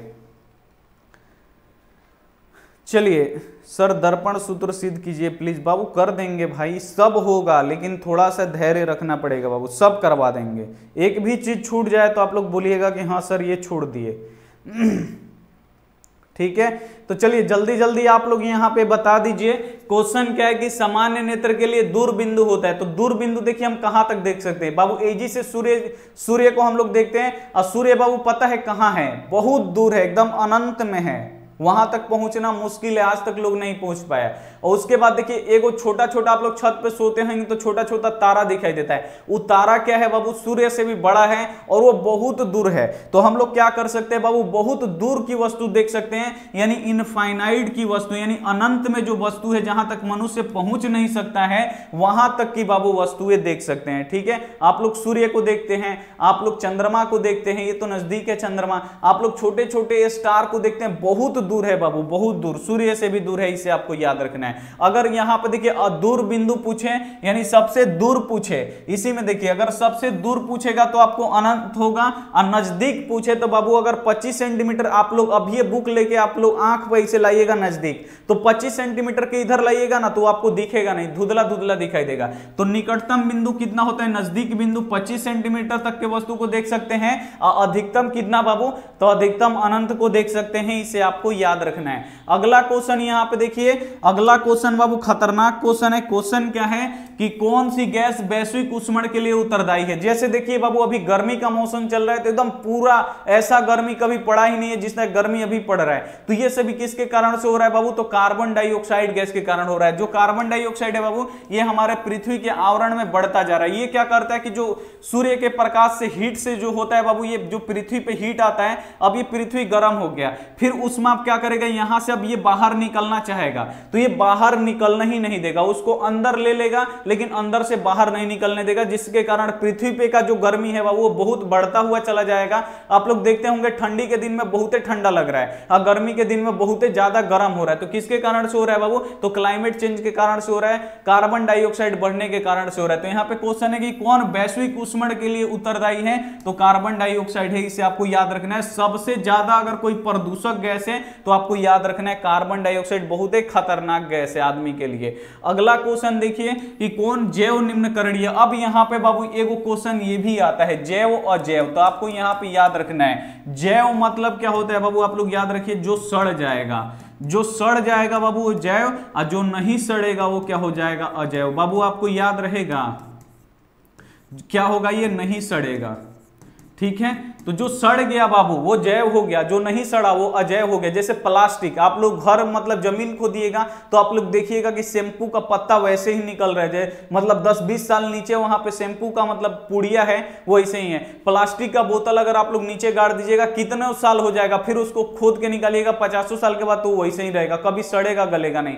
हम लोग का जो हेयर होता है, जो बाल होता है, ये भी कभी सड़ता, गलता नहीं है, ठीक है? तो जो कभी सड़ेगा, गलेगा नहीं, उसे पोलोथीन हो गया। वो पोलोथीन को कितने दिन तक आप लोग ज़मीन के अंदर गाड़ के रख दीजिए, वो कभी सड़ेगा, गलेगा नहीं। तो जो कभी बाबू सड़ेगा, गलेगा नहीं, वो क्या हो जाएगा? अजैव हो जाएगा। जो सड़ गल जाएगा, वो जैव हो जाएगा। जैसे कागज़ हो गया, कागज़ को आप लोग दस दिन ज़मीन के अंदर में डाप दीजिए, पानी डाल दीजिए, उसके बाद निकालिए, सड़ गया रहेगा। आप लोग हरा पेड़ पौधा के पत्ती हो गया, उसको भी डाल दीजिए, या मनुष्य को क्या करिए, ज़मीन में डाल के तोप दीजिए, वो भी क्या हो जाएगा? दो चार महीना के बाद सड़ गल जाएगा। तो जो बाबू सड़ गल जाता है, उसे हम लोग क्या बोलते हैं? जैव बोलते हैं। और जो सड़ता गलता नहीं है, उसे हम लोग अजैव बोलते हैं। जैसे टिश्यू पेपर, आप लोग बराती जाते होंगे तो प्लेट में एगो, प्लेट रहता है, उसके बाद ऐसे एगो पेपर की तरह देता है, बोलता है कि खाना खा के इसमें हाथ पोछिएगा। वही क्या होता है बाबू, टिश्यू पेपर, ये भी क्या होता है बाबू, सड़ गल जाता है। केले का छिलका, आप लोग केला खा के छिलका बिक देते हैं रोड पे कि कोई आएगा तो उस पर पैर रखेगा, फिसल के गिरेगा। तो ऐसे आपको नहीं करना है। जो केले का जो छिलका होता है बाबू, उससे वो भी क्या होता है, अगर आप लोग कचड़ा में बिक दीजिएगा तो वो भी 10-20 दिन के बाद सड़ जाएगा। लेकिन जो थर्मोकोल होता है, थर्मोकोल आप लोग नहीं जानते होंगे। थर्मोकोल आप लोग देखे हुए जो गत्ता होता है ना बाबू टीवी खरीदिएगा ना तो उसमें साइड साइड में व्हाइट कलर का भर के देता है, बहुत मज़बूत होता है। वो घर में देता है केला का छिलका पे आप लोग हंसिए मत मतलब केला का छिलका खा के आप लोग फेंकिएगा मत रोड पे किसी को गिराने के लिए। देखिए, जो अगर हम टीवी भी खरीदते हैं, फ्रिज खरीदते हैं, उसमें व्हाइट व्हाइट कलर का थर्मोकोल लगा के देता है। और थर्मोकोल भी क्या होता है बाबू? कभी सड़ता गलता नहीं है, आपको यहाँ पे याद रखना है। तो जो थर्मोकोल होता है, ये क्या है बाबू? जैव और जैव निम्नकरणीय है, ये कभी सड़ेगा गलेगा नहीं टिश्यू पेपर सड़ गल जाएगा तो ये जैव हो जाएगा। केले का छिलका ये सड़ जाएगा तो ये क्या हो जाएगा बाबू? जैव हो जाएगा। लेकिन जो थर्मोकोल होता है, ये भी सड़ता गलता नहीं है तो ये भी क्या हो जाएगा? हम लोग का अजैव हो जाएगा। अगला क्वेश्चन यहाँ पे देखिए, अगला क्वेश्चन क्वेश्चन है कि उत्तम ऊर्जा का स्रोत कौन सा अब इसमें से आपको बताना है कि उत्तम ऊर्जा का स्रोत कौन सा है? यानी उत्तम ऊर्जा का स्रोत कौन है? तो आपको याद रखना है पेट्रोलियम। इसमें क्या है बाबू? इसमें पेट्रोलियम है। इसमें हम लोग का क्या हो जाएगा? पेट्रोलियम। सी वाला ऑप्शन यहाँ पे बिल्कुल इसे हो जाएगा। अगला क्वेश्चन यहाँ पे देख लीजिए। अगला क्वेश्चन है बाबू, शुद्ध जल का पीएच मान कितना होता है? बोर्ड परीक्षा में आता है। इसे आपको याद रखना है कि जो बाबू एकदम शुद्ध जल होता है, इसका पीएच मान कितना होता है? सात होता है। और जो शुद्ध जल होता है बाबू, उदासीन होता है। तो उदासीन भी विलियन का अगर पीएच मान बोलेगा कि उदासीन विलियन का पीएच मान कितना होता है तो सात होता है, इसे आपको याद रखना है। अगला क्वेश्चन देखिए। अगला क्वेश्चन है कि एंटी मनी क्या है बाबू बार बार पूछता है, इसे आपको याद रखना है कि एंटी मनी इसका नाम है एस इसे इसे हम लोग क्या बोलते हैं? इसका संकेत होता है, संकेत होता है एस तो एंटी मनी क्या है बाबू तो एंटी मनी बाबू उप धातु है। तो अब आप लोग बोलिएगा, सर, धातु होता है, अधातु होता है। लेकिन ये उप धातु क्या होता है? तो जिसमें धातु और अधातु दोनों के गुण पाए जाते हैं, वो क्या होता है? उप धातु होता है। समझ में आ गया? और जो एंटी मनी है, इसमें धातु का भी गुण पाया जाता है, अधातु का भी गुण पाया जाता है। तो ये क्या है? एंटी मनी उप है बाबू, इसे आपको याद रखना है। आप लोग को ज़्यादा नहीं है, बीस गो क्वेश्चन और है।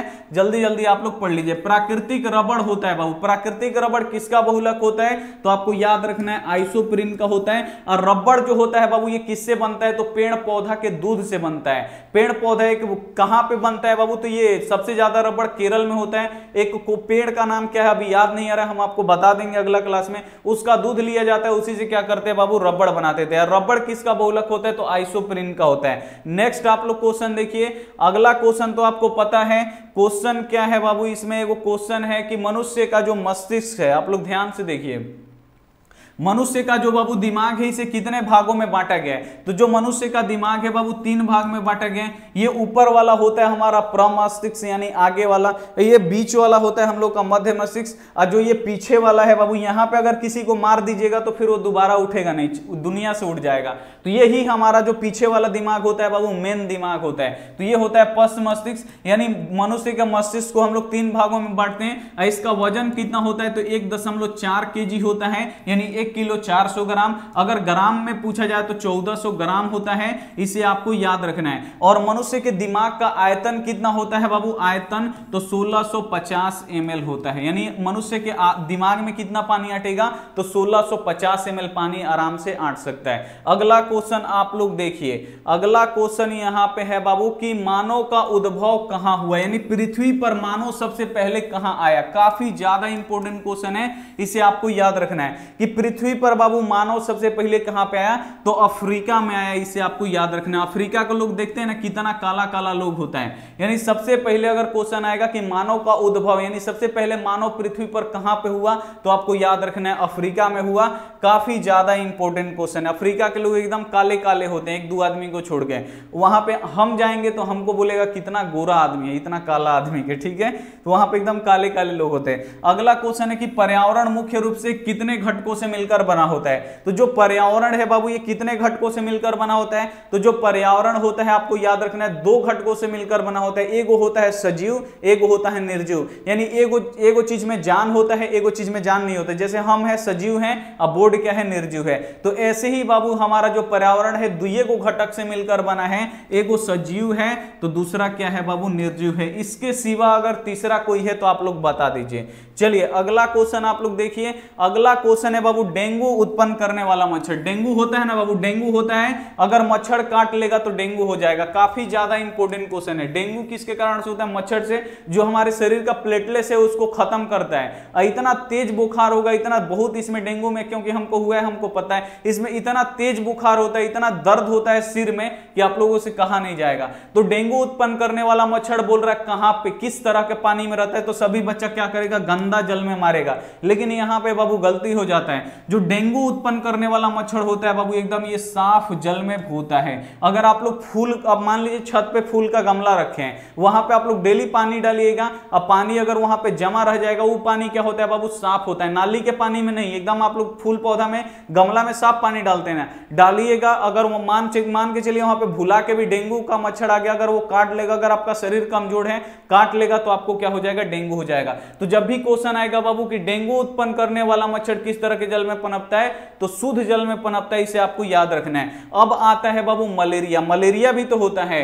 तो मलेरिया अगर क्वेश्चन आएगा यहाँ पे कि मलेरिया उत्पन्न करने वाला मच्छर मादा एनोफिलिज। ये भी आपको याद रखना है कि मलेरिया किस मच्छर को काटने से होता है? तो मादा एनोफिलिज। और ये क्या है? मादा यानी क्या होती है? जो औरत होती है। इसका जो जेंट मतलब जो इसका नर होता है, पुरुष होता है, वो नहीं काटता है। लेकिन जो इसकी मादा होती है, यानी जो इनकी औरतें होती हैं वही क्या होती, करती हैं, मनुष्य को काटती हैं और मलेरिया उत्पन्न करवा देती हैं, ठीक है? तो आपको याद रखना है कि मलेरिया उत्पन्न करने वाला मादा एनोफिलिज मच्छर किस तरह के जल में उत्पन्न होता है? तो ये गंदा जल में उत्पन्न होता है। किस तरह के जल में उत्पन्न होता है? तो ये गंदा जल में होता है। और डेंगू वाला साफ़ जल में, और मलेरिया वाला गंदा जल में। दोनों का दोनों आपको क्या रखना है? याद रखना है। अगला क्वेश्चन देखिए। विशालक शीशा यानी मैग्नीफाइंग ग्लास होता है। आप लोग को ज्योमेट्री बॉक्स में ऐसे होगा। हम आपको बताए हैं, जिसे आप लोग लेके ऐसे देखते हैं, अक्षर पढ़ते हैं तो बड़ा बड़ा दिखाई देता है। सूर्य के प्रकाश में अगर कागज़ को रखिएगा तो कागज़ को जला देगा। तो जो ये मैग्नीफाइंग ग्लास, यही होता है बाबू मैग्नीफाइंग ग्लास। मैग्नीफाइंग ग्लास यानी विशालक सीजा कौन होता है बाबू? तो उत्तल लेंस होता है,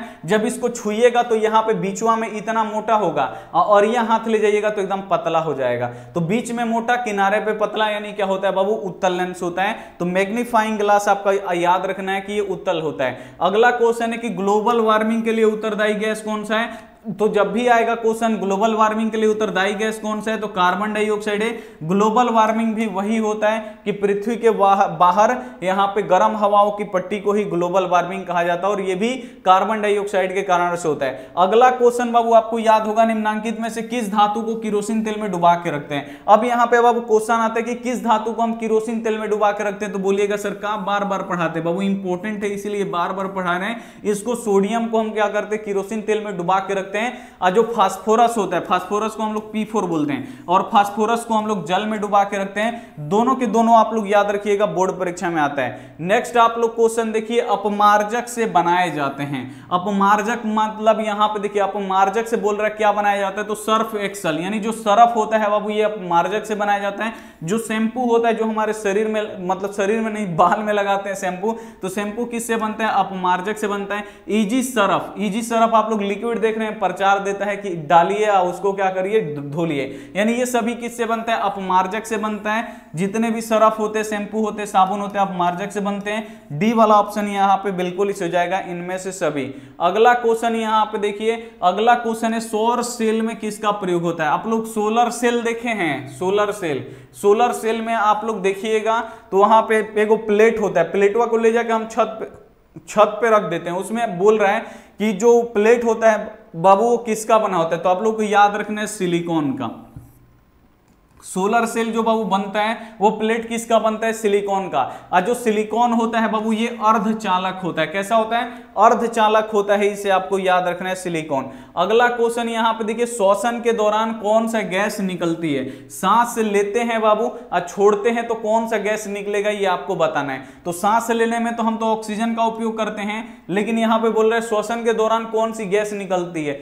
श्वसन हम लोग इसे बोलते हैं, एक बार सांस अंदर लेंगे, और फिर अंदर वाला सांस बाहर निकाल देंगे तो ये श्वसन होता है। तो बोल रहा है, श्वसन में कौन सी गैस निकलती है? तो हम जब छोड़ते हैं तो कौन सा गैस निकलता है बाबू? तो कार्बन डाइऑक्साइड निकलता है। यहाँ पर देखिए, कार्बन डाइऑक्साइड निकलता है, ए वाला ऑप्शन बिल्कुल इस जाएगा। और श्वसन में केवल हम लोग ऑक्सीजन का उपयोग करते हैं। अगला क्वेश्चन आप लोग देख लीजिए। अगला क्वेश्चन है कि मानव में गर्भ की अवधि होती है। मानव मादा यहाँ पे लिखना ज़रूरी है। क्योंकि मादा ही क्या होती है गर्भ की अवस्था में होती है। तो यहाँ पे आपको बताना है कि जो मानव हो मा, मतलब मानव मादा में गर्भ की अवधि कितना होती है? यानी जो बच्चा होता है बाबू ये पेट में कितने दिन तक रहता है? तो आपको याद रखना है कि ये नौ माह, यानी नौ, नाइन मंथ तक रहता है पेट में। अगर इसको दिन से हम लोग गुणा करेंगे बाबू तो एक महीना में कितना दिन? तो तीस दिन। तो नौ त्री कितना हो जाएगा बाबू? सत्ताईस। यानी दो सौ सत्तर दिन तक यहाँ पे होता है। मानव मादा की गर्भ की अवधि कितनी होती है? तो दो सौ सत्तर दिन की होती है, इसे आपको याद रखना है। ए वाला ऑप्शन यहाँ पे बिल्कुल इस हो जाएगा। अगला क्वेश्चन आप लोग देखिए। अगला क्वेश्चन है बाबू की उत्तल लेंस की फोकस दूरी होती है। अब यहाँ पे बाबू उत्तल लेंस की फोकस दूरी, उत्तल दर्पण हो चाहे उत्तल लेंस हो, इसकी फोकस दूरी प्लस वी यानी क्या होता है बाबू? धनात्मक होता है और अवतल लेंस की फोकस दूरी क्या हो जाएगा? माइनस वी हो जाएगा। ऋणात्मक माइनस वी का मतलब क्या होता है? ऋणात्मक। अगला क्वेश्चन देखिए कि आकाश का रंग नीला क्यों दिखाई देता है? अब देखिए यहाँ पे क्वेश्चन है कि जो आकाश है बाबू, इसका रंग नीला ही क्यों दिखाई देता है? क्योंकि हम लोग यहाँ पे पृथ्वी पर रहते हैं। मान लीजिए हम यहाँ पे हैं पृथ्वी पे और हम ऊपर ताक रहे हैं, ये क्या है बाबू? हमारा आकाश है। तो जहाँ बाबू, जहाँ तक वायुमंडल है, यही हमको दिखाई देता है नीला। अगर इसको हम पार करके यहाँ पे चले जाएँगे, अब यहाँ से अगर हम आकाश को देखेंगे तो ये कैसा दिखाई देगा? काला। बाबू, ये क्या है अंतर? तो अंतर यही है बाबू कि वायुमंडल में अगर हम देखेंगे, वायुमंडल में रह के तो आकाश नीला दिखाई देगा। अगर वायुमंडल से बाहर निकल जाएँगे तो वही आकाश अब कैसा दिखाई देगा? काला दिखाई देगा। कैसे काला दिखाई देगा? रात में आप लोग देखते हैं कि रात में आकाश काला दिखाई देने लगता है, दिन में ये क्या नीला दिखाई देने लगता है, क्यों दिखाई देता है? क्योंकि दिन में बाबू सूर्य का प्रकाश होता है। और सूर्य के प्रकाश में जो नीला रंग होता है ना बाबू, उसमें सात गो रंग होता है, उसमें एगो नीला रंग है। दिन में क्या होता है कि वायुमंडल में जो छोटे छोटे हवा है तो इसमें छोटे छोटे धूल कण होंगे। धूल कण में क्या होता है कि जब सूर्य का प्रकाश टकराता है तो ये क्या करता है? नीले रंग का सबसे ज़्यादा प्रकीर्णन करते हैं। वायुमंडल में नीला रंग पूरा फैला देता है। वायुमंडल में नीला रंग पूरा फैला देगा तो हम तो अभी वायुमंडल में है तो ऊपर ताकेंगे तो ये सभी हमको नीला नीला दिखाई देगा। यानी आकाश हमको अभी नीला दिखाई दे रहा है। और जैसे ही दिने में हम क्या करेंगे? वायुमंडल छोड़ के अंतरिक्ष में चले जाएँगे तो वहाँ पे तो हवा हुआ है ही नहीं, मास्क कुछ लगा के जाना पड़ेगा सिलेंडर। अब देखेंगे वहाँ तो वहाँ तो बाबू धूलकण थोड़ी है मिट्टी का। वहाँ पे मिट्टी का धूलकण नहीं है, वहाँ पे किसी भी रंग का प्रकीर्णन नहीं होगा। ऊपर देखिएगा, आपको रात की तरह दिखाई देगा, एकदम काला, ठीक है? तो ये आपको याद रखना है। तो बाबू क्वेश्चन है, आकाश का नीला रंग किसके कारण से होता है? तो प्रकाश के प्रकीर्णन के कारण। किसके कारण होता है? तो प्रकाश के प्रकीर्णन के कारण डी वाला ऑप्शन बिल्कुल इस जाएगा। नेक्स्ट क्वेश्चन आप लोग देखिए। नेक्स्ट यहाँ पे क्वेश्चन है, हीरा का अपवर्तनांक कितना होता है? तो हीरा का अपवर्तनांक आप लोग याद रखिएगा, दो दशमलव चार दो अब पानी का अपर्तनांक आपको याद रखना है कि पानी का बाबू अपर्तनांक होता है एक दशमलव तीन तीन। क्या आपको याद रहेगा बच्चा? याद रहेगा। चलिए, अगला क्वेश्चन यहाँ पे देखिए। अगला क्वेश्चन है, प्रतिबिंब की ऊंचाई तथा वस्तु के ऊंचाई के अनुपात को क्या कहते हैं? तो प्रतिबिंब की ऊंचाई तथा वस्तु की ऊंचाई के अनुपात को आवर्धन कहते हैं और आवर्धन का कोई भी ऐसा ही मात्रक नहीं होता है, ये भी आप बच्चों लोगों को पता है। नेक्स्ट यहाँ पे देखिए, अगला क्वेश्चन बाबू टेबल हम आपको दिए थे, अम्ल क्षार लवण पढ़ाए थे तो बोले थे कि सेब में कौन सा अम्ल होता है, दही में कौन सा अम्ल होता है, इमली में कौन सा अम्ल होता है, सभी हम आपको बताए थे। तो जल्दी से आप लोग बताइए सेब में कौन सा अम्ल होता है? तो सेब में बाबू मैलिक अम्ल होता है। बी वाला आंसर बिल्कुल इसी जाएगा। टार्ट्रिक अम्ल बाबू इमली में होता है। ये आपको याद रखना है बाबू। इसका कोई ट्रिक नहीं है, आपको याद रखना पड़ेगा। टार्ट्रिक अम्ल इमली में लैक्टिक अम्ल किसमें होता है बाबू? तो लैक्टिक अम्ल दही में होता है। इसे आपको याद रखना है। क्या ये आपको याद रहेगा? ये आप लोग याद कर लिए हैं। सर जी, ऑक्सीकरण अभिक्रिया किसे कहते हैं? बाबू, ऑक्सीकरण, जैसे हम सांस ले रहे हैं ना तो ये ऑक्सीकरण है, जिसमें ऑक्सीजन का प्रयोग होगा, जिस अभिक्रिया में ऑक्सीजन जुटेगा, उसे हम लोग ऑक्सीकरण कहेंगे। और जिस अभिक्रिया में ऑक्सी, ऑक्सीजन नहीं जुटेगा, उसे हम लोग क्या बोलेंगे? ऑक्सी अकरण बोलते हैं। तो सांस लेना भोजन का पाचन ये से भी क्या है, बाबू, ऑक्सीकरण की क्रिया क्योंकि यहाँ पे हम लोग क्या करते हैं, ऑक्सीजन का उपयोग करते हैं। नेक्स्ट क्वेश्चन यहाँ पे देख लीजिए। अगला क्वेश्चन है, बाबू, यहाँ पे 79 नंबर कि इंद्रधनुष में सबसे बाहर रंग दिखाई देता है। सबसे पहले तो जानिए, इंद्रधनुष में कितना रंग होता है? तो इंद्रधनुष में टोटल सात रंग होता है। सबसे बाहर आपको याद रखना है, लाल रंग होता है और सबसे अंदर आपको याद रखना है, नीला रंग होता है। तो बाहर लाल रंग, अंदर नीला रंग। तो बोल रहे कि बाहर कौन सा होता है? तो बाहर अगर पूछेगा तो आप लाल पे टिक कीजिएगा। अगर बोलेगा, अंदर कौन सा रंग होता है? तो अंदर नीला रंग होता है। बाबू, आपको याद रहेगा, दोनों के दोनों आपको याद रखना है। अगला क्वेश्चन देखिए, और आज का अंतिम क्वेश्चन यहाँ पे देखिए